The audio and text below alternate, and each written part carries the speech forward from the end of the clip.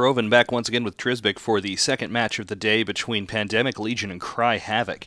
Pandemic Legion has brought a Loki, Claymore, two Rooks, Scimitar, two Manticore, two Nemesis, and a Hound. And Cry Havoc have two Proteuses, a Dominix, a Guardian, two Ishtars, and two Ishkurs.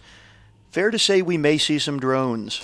I think that is a safe bet, yes. Uh, Pandemic Legion bringing an identical setup to the last round, and we'll see how it fares for them this time. We've had the 30 second countdown in local, now 10 second countdown in local. We are just about ready to go.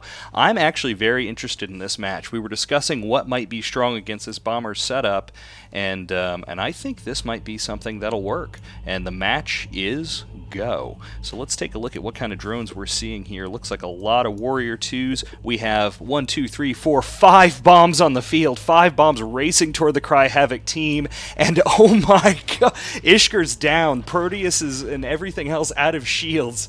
Wow, I, that was a display. I've been struck dumb. Uh, uh, that's the easily the most effective use of uh, bombs we've seen in the tournament so far.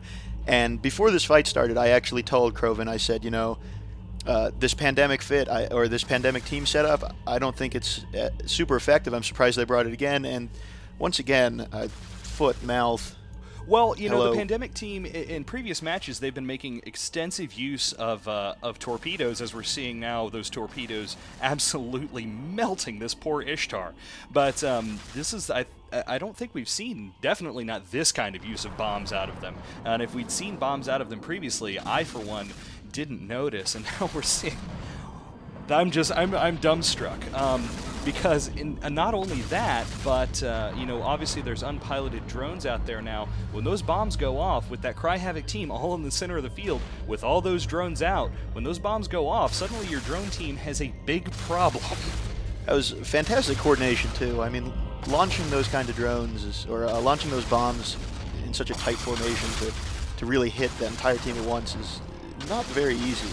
No, well, and I mean, honestly, Cry Havoc should have should have seen this coming. Um, they brought the bombers last time. They brought bombers the previous round. They had to know that they, you know, Pandemic Legion brought bombs at the very least. So, you know, warping all of your drone team in at zero meters to the beacon when you know they're going to be coming in at 20 or 30 probably not the best turn of strategy there, as now we're seeing Mistress Suffering's Proteus already out of armor. It's just absolutely mind-blowing how much damage these torpedoes are doing to cruiser hulls. I mean, they, they turned an Ishtar into into a pile of rubble and have absolutely melted uh, the Proteus, which, as we've seen in, in previous matches, is no slouch. This um, this Pandemic Legion team showing that they you know they they're here to prove that they are the you know not only are they the defending champions but they intend to be the reigning champions next time as well. And uh, and are putting on one hell of a show with these torpedoes everywhere. There's explosions there's death and mayhem. Another Ishtar already down and Cry Havoc is just being absolutely slaughtered in the middle of the arena. Yeah there's a lot of target painters going off that uh that pandemic Loki and Claymore are right in the thick of things, uh, just lighting things up with the auto cannons yeah, it's the the Cry Havoc team also launched all their drones at the beginning, which I feel like if you even break up the formation a little bit, the bombs become considerably less effective. Yeah, and, and I just I just have to think that Cry Havoc, I don't I'm not sure. Maybe they were too busy posting on the forums about how biased we are, but um, but clearly they didn't think through this warp in point as uh, as my dear friend Callisto is in half armor.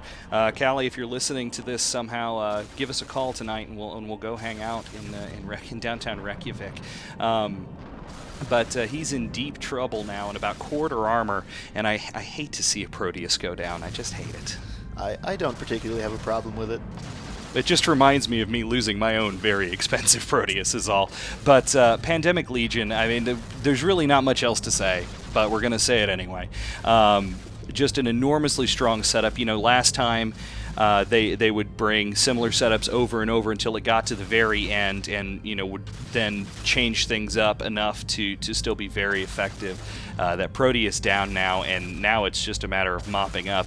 You know, it, it's just absolute contempt for the Cry Havoc team here. The Guardian is is just chilling out. I mean, I'm sure he's probably jammed into oblivion by this point, but uh, not even bothering, really. You know, just just letting him chill out next to his Dominix buddy.